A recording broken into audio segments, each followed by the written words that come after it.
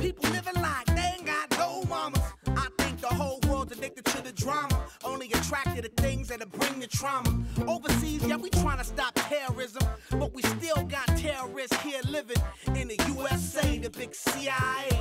The Bloods and the Crips and the KKK. But if you only have love for your own race, then you only leave space to discriminate. And to discriminate only generates hate. And when you hate, then you're bound to get irate. Yeah madness is what you demonstrate. And that's exactly how anger works and operates. Man, you gotta have love just to set it straight. Take control of your mind and meditate. Let your soul gravitate to the love, y'all, y'all. People killing, people dying, children hurt and you hear them crying. Can you practice what you preach and would you turn the other cheek?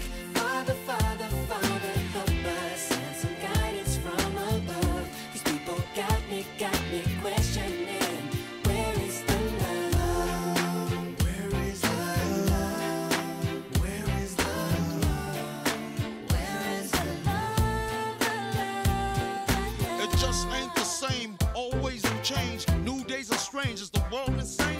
If love and peace is so strong, why are the pieces of love that don't belong? Nations dropping bombs, chemical gases filling lungs of little ones with ongoing suffering. As the youth are young, so ask yourself, is the loving really gone? So I could ask myself, really what is going wrong in this world that we living in? People keep on giving in, making wrong decisions, only visions of them.